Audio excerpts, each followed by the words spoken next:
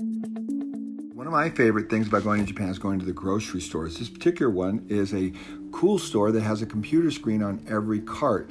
So you scan your card when you go in, you're a member, it checks you in, and then you have your bag in your cart. You scan every item as you put them in the cart. It tells you what it costs, gives you a running total so you know how much you've spent. There's no tricks or games here at all and it's just one piece flow. It shows you with visual controls the farmers that actually produce the produce. So great visuals there.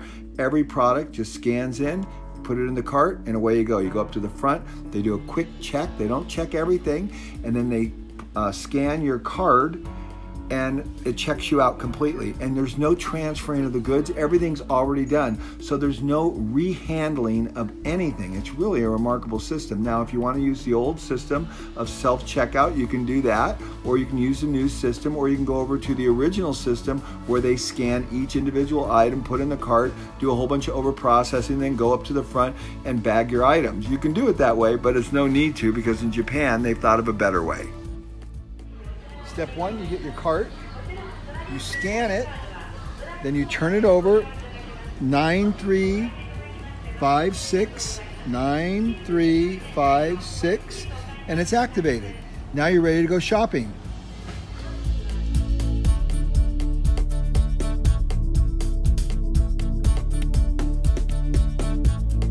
So you're up the front, you have everything. Orange means pay, so we're gonna pay it. It's gonna ask us how many bags. We got three bags. Okay, so we're gonna go there. No points. So yes or no? yeah, no. yes or no. So no is green. And then, And then? orange. Orange. There's our total, and we're done. Okay, then and then she's gonna take it, and she's gonna do a quick check to make sure everything looks okay. So just randomly checking for three.